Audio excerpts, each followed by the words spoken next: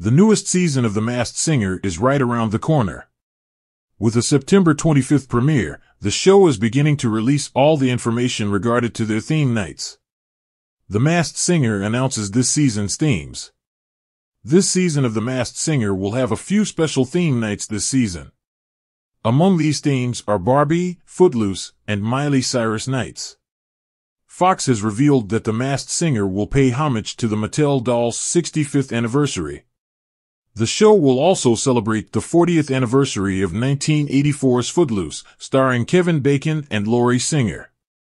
In addition, the series is celebrating Miley Cyrus's new Disney Legend Award.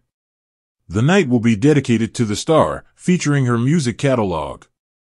Finally, fans should expect to see the return of Soundtrack of My Life and Thanksgiving Night. Other new themes include Sports Night, 60s Night, and First of a Kind Who Are You Fest. The all-new Who Are You Fest features music from memorable festival lineups. As always, these themes will be woven throughout the performers' song selections, costumes, celebrity guests, and more. The show returns September 25th. The Masked Singer is returning to Fox on September 25th at 8 p.m. Eastern Time. Once again, fans will be able to gather clues and determine who the celebrities under the mask are.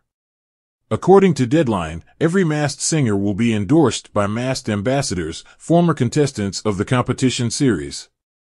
These contestants include Dick Van Dyke, Jewel, Ne-Yo, and DeMarcus Ware.